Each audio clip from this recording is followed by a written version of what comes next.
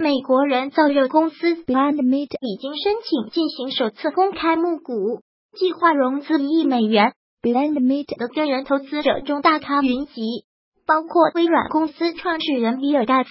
著名影星莱昂纳多·迪卡普里奥以及麦当劳前任首席执行官唐·汤普森等。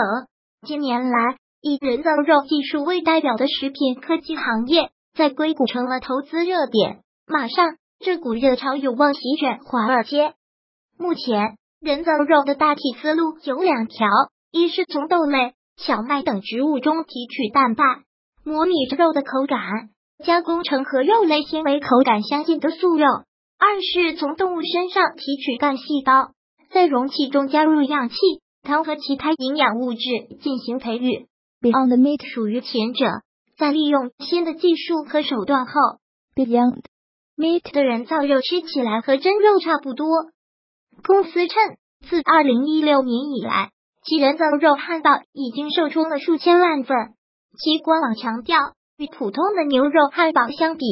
他们制作的人造肉汉堡能在生产过程中节约百分之九十九的水、百分之九十三的土地、百分之九十的排放以及百分之四十六的能量。如果喜欢本视频，请分享并订阅本频道，别忘了按赞哦！